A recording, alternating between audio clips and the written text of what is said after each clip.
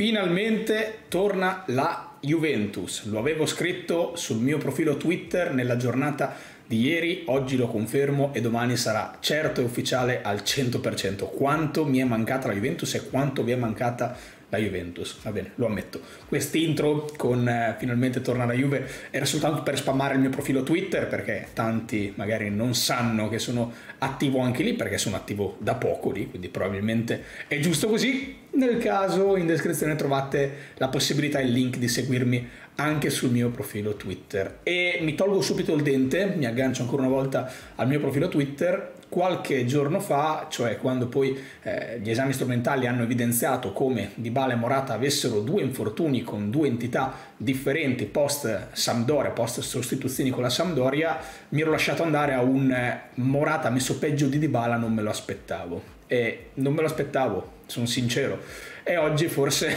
ho un po' più le idee chiare perché Paolo Di Balla, lo ricorderete, esce piangendo dal campo e tutti in quel momento, forse dopo gli esami strumentali, avevamo pensato se esce così è perché mancherà col Chelsea, è perché finalmente stava andando bene, gli dispiace. Poi l'adesione ce l'aveva Morata e ad oggi è più indietro di Bala. A me sinceramente dispiace un sacco, Allegri ci ha anche scherzato su in conferenza su questa cosa dicendo in questi giorni continuavo a leggere gioca di Bala, gioca di Bala, ma quando? Probabilmente al ritorno perché è molto vicino all'andata, poi sapete che quest'anno abbiamo un calendario particolare in cui il ritorno non è uguale all'andata, una cosa scombinata, inedita, simpatica che sicuramente va monitorata e va capito se ci saranno poi delle modifiche a livello di, di, di risultati finali, non, non lo so, sono curioso. Eh, mi dispiace, mi dispiace proprio per quello che dicevamo prima, o che quello che dicevo quest'estate. Eh, lo sapete, non mi sono mai nascosto dicendovi attenzione, l'erede di Cristiano Ronaldo non è Moise Ken, se vogliamo possiamo dire che numericamente sì, può essere Ken, ma saranno Chiesa di Bala a doversi prendere in mano la Juventus. E se nelle prime partite l'aveva fatto di Bala, nelle ultime partite lo sta facendo Chiesa. Questo è un piccolo spoiler per dirvi che secondo me anche domani Chiesa giocherà centravanti, ma arriveremo a ragionare di questo poi verso la fine del video, quando vi dirò la mia probabile formazione, che comunque ho già detto anche nel video di Davom e questa cosa mi ha fatto piacere perché abbiamo fatto una bella collaborazione, quindi se volete andare a vedere quel video potete trovare sul, sul suo canale l'ultimo video che ho fatto, ci sono anch'io, c'è, c'è anche Lello, c'è Chino, ci siamo tutti. Dispiace tanto, dispiace tanto per Paolo Di Bala, anche in un momento così delicato di carriera, tradotto il rinnovo del contratto a cifre che lo porteranno bonus compresi intorno ai 10 milioni di euro. Su Di Bala c'è sempre una diatriba, rispondo anche a un ragazzo che l'altro giorno mi aveva scritto non ho capito perché hai buttato Di Bala nel calderone di quelli più criticati dai tifosi, più presi in considerazione eh, avevo fatto il video in cui parlavo di Rabiot, di Ramsey, giocatori molto pagati che poi in campo non rendono quanto ci si poteva aspettare, eh, ci tengo a dirlo pubblicamente, ma chi mi segue da tanto lo sa bene, io sono calcisticamente innamorato di Paolo Di Bala, del suo mancino, del suo modo di giocare, mi emoziono a vedere giocare Paolo Di Bala, mi esalto di più a vedere giocare Chiesa, perché la cattiveria che ci mette Chiesa secondo me è qualcosa di introvabile, insostituibile nel calcio di oggi, quindi devo dire la verità, mi emoziona di più, eh, mi esalta di più in realtà vedere un giocatore alla Chiesa rispetto a come gioca Dybala, ma io di Dybala sono innamorato, lo considero un patrimonio tecnico ed economico indispensabile per questa Juve perché tante volte eh, ci troviamo a prendere in considerazione Dybala all'interno di alcune analisi, di alcune critiche che sono giuste rivolgere anche a Dybala e non ho fatto uscire un video in particolare in questo periodo proprio perché volevo aspettare il rientro di Bala, il rinnovo di Dybala e ficcarlo in un momento storico diverso e più vicino a quello che spero possa accadere presto, cioè tradotto i giocatori più decisivi nella fase finale della Champions League ed è lì secondo me la grande critica che si può muovere a Dybala. E ultimamente purtroppo proprio a causa di questi suoi problemi fisici e lo vedrete anche in quello stesso video Dybala sta iniziando a diventare un giocatore meno affidabile dal punto di vista atletico. Questo va detto con grande chiarezza, lo dico davvero da, da supporter di Dybala perché a parte che è bruttissimo dover mettere le mani avanti e dire sono un tifoso di un giocatore della Juventus, veramente brutto, però so che è necessario perché in questo momento c'è una forte ehm, lotta, una forte guerra, una forte divisione intorno al nome di Dybala, come c'è sempre stata intorno al nome di Allegri e rivolgere una critica di Bala senza specificare che comunque lo supporto mi potrebbe dipingere in un'altra maniera, quindi lo dico proprio tranquillamente, io credo che Dybala sia indispensabile per questa Juve che perde Cristiano Ronaldo, non può permettersi di perdere anche un giocatore come Dybala, a meno che poi tutti gli altri non vadano a overperformare, però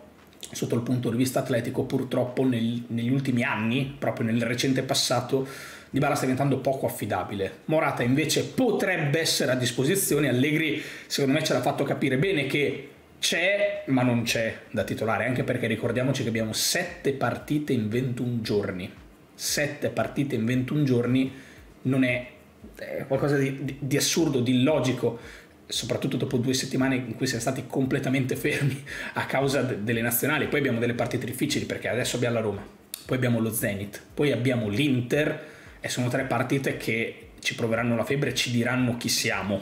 Perché al termine di questa settimana, ragazzi, capiremo davvero questa Juve quanto squadra, quanto gruppo, quanto forte è, per cosa può lottare, per cosa possiamo iniziare a proiettarci a pensare per il futuro, per questa stagione. Poi arriverà magari la pausa ancora di novembre che Allegri ha etichettato come quello il vero obiettivo proprio per capire dove siamo e per cosa possiamo sognare e se saremo messi bene il mercato di gennaio, ne abbiamo parlato nell'ultimo video caricato sul canale, potrebbe venirci a dare una mano, potrebbe correre al nostro aiuto. Dicevo, Morata secondo me non giocherà dall'inizio, ce l'ha fatto bene o male capire Allegri e secondo me ci ha fatto capire che non giocherà dall'inizio nemmeno Moise Ken, dicendo che se non c'è Morata allora devo andare su Ken. Se no c'è Chiesa centravanti, cosa che penso avverrà, e poi dimenticandoselo fa, ah, e poi c'è anche Caio Jorge. Giorgi, Giorgi, scusate, sapete che ormai devo abituarmi. E, ehm, appunto sui brasiliani, Arturo e Caio. Credo che non partiranno titolari domani. Credo che Allegri, capendo come è fatto Allegri, sapendo come è fatto Allegri, l'inserimento di giocatori che non ha mai avuto e che vengono entrambi da un infortunio sarà più lento e graduale. Non dico che non giocheranno nemmeno un minuto domani con la Roma, dico che potrebbero entrare a partite in corso a patto che vadano a concretizzarsi alcune cose che ha in testa Allegri. E come vi dicevo, non so quanto possa essere fattibile un centrocampo a 2, Locatelli e Artur senza il terzo che era Rabiot per creare un centrocampo a 3 quando è necessario. Allegri ce l'ha fatto capire, domani gioca Bernardeschi, e grazie al piffero, direte voi. E ci ha fatto capire anche che McKenny non sarà titolare dal primo minuto ormai la formazione è fatta, come ci ha fatto capire che gioca eh, D'Elite, ci ha fatto capire che gioca Bonucci, anche se Chiellini sta bene e anche Rugani, un po' come Caio, per farci capire le gerarchie, quelli non sono titolari. Quindi Bernardeschi che Allegri dice essere completamente recuperato a livello mentale, ma che adesso deve dare continuità. Oh, attenzione, perché fino adesso a Bernardeschi c'era stata tanta carota Ora c'è il bastone nei confronti del Berna, perché ha capito che è a posto a livello mentale, ma che non è più sufficiente il compitino. E quante volte ci siamo detti Bernardeschi questo può fare e ci accontentiamo del compitino da parte uno come Bernardeschi, che in tanti anni non ci ha dimostrato chissà che cosa, a un'ora del vero le migliori stagioni di Bernardeschi sono state proprio con Allegri in panchina. La prima stagione alla Juve, la prima stagione di Ronaldo, poi un declino incredibile nelle stagioni tra Sarri e Pirro, roba che ha fatto un gol, mi pare, o due gol in due anni, una roba vergognosa. E ora tornato con Allegri in questa prima parte di stagione, sembra un giocatore non dico recuperato per essere titolare, ma recuperato per essere una riserva, una seconda linea. E in questo momento in cui c'è necessità, perché Rabiot è fuori per Covid, Bernardeschi sarà un titolare, probabilmente anche in Champions League contro lo Zenit e non basta più la carota, è ora di usare il bastone. Un Allegri carico, devo sottolinearlo, devo metterlo bene in chiaro perché c'erano stati dei problemi a livello personale in questi giorni, saprete tutti la sua rottura con Ambra Angiolini, gli hanno fatto pure la domanda in conferenza stampa, è stato bravissimo a scappare da questa domanda. E allora per concludere questo video e finalmente torna alla Juve, lo dico ancora una volta, quale sarà la formazione titolare di questo Roma-Juventus, anzi Juventus-Roma perché giochiamo a Torino. Io ho ipotizzato questi 11, ma voglio sapere la vostra formazione probabile titolare qui sotto nei commenti. Scesni in porta, Alexandro e Danilo destra e sinistra. Danilo tra l'altro non ha giocato nella sfida contro il Brasile, Alessandro sì, ma comunque lo vedo titolare. Non dovesse esserci Sandro, potrebbe esserci uno tra Pellegrini e De Sciglio. Mi aspetto anche già De Sciglio a sinistra, eh? ve lo dico proprio tranquillamente. Delite e Bonucci in mezzo, Locatelli e Bentancur in mezzo a centrocampo e secondo me paradossalmente Bentancur in questo momento con Rabiot fuori e con McKenny che Allegri ci ha fatto capire avere altre caratteristiche, lo vede in un modo completamente diverso rispetto a Bentancur e Arthur che come vi dicevo recupererà pian piano per entrare nelle rotazioni, ecco diventa un insostituibile al pari di Locatelli Bernardeschi e Quadrado sugli esterni, Allegri ci ha detto la Roma è una squadra scomoda, antipatica contro cui giocare perché va in verticale, quindi vorrà chiudere tutte le linee di passaggio ed ecco perché vi metto Kuluseschi sulla tre quarti, è esattamente il ruolo che faceva fare Kuluseschi a Pirlo anche contro l'Inter quando siamo andati a San Siro a marcare Brozovic a uomo e ha funzionato alla grande quindi immagino la stessa cosa su Veretù o Cristante a rotazione